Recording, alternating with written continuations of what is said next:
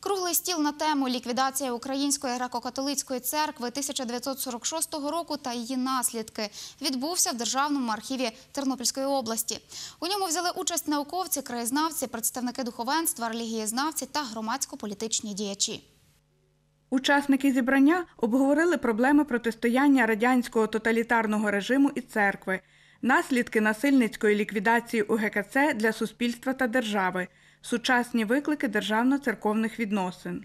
Львівський псевдособор, е, якого відзначаємо в цьому році 70-ту річницю, перш за все, є такою чорною сторінкою в історії церкви. Отже, це не є якийсь такий ювілей радісний чи, чи дуже святковий. Е, Перш за все, згадуємо е, у, цей, у цю річницю ці події, а також жертв цих подій, тих осіб, тисячі, десятки тисяч осіб, які стали жертвами репресивної радянської машини, яка фактично внаслідок цього псевдособору почала чинити насилля над совістю українців. Якщо говорити про Тернопільську область, то е, в цей перший період 46-47 років е, було репресовано, арештовано, тобто мова про священників, не на яких просто чинився тиск чи щось такого, але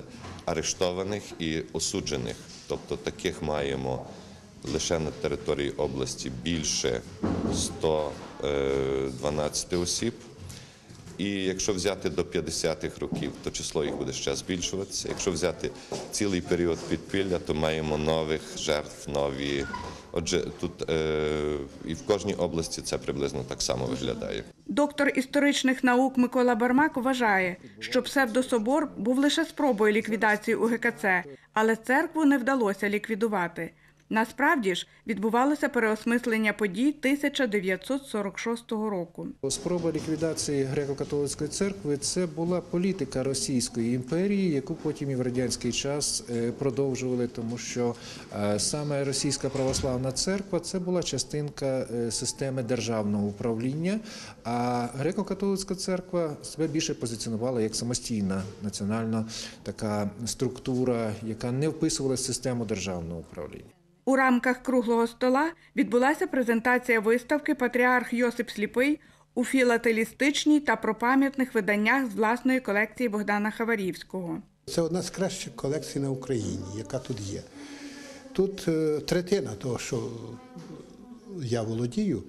А чому? Тому що з всього світу, завдяки такому, таким людям, якщо ви пам'ятаєте, Роман Смик, меценат по Лепкому і не тільки і він всюди культивував Йосипа Сліпого. Це завдяки йому ми е, з подання архіву філателі, спілки філателістів вперше в 90-х роках з'явився е, поштовий знак з зображенням Йосипа Сліпого.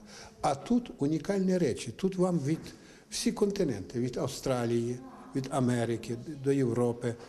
І, і навіть африканські є моменти пов'язані із е, е, відзнакою Йосипа Сліпого.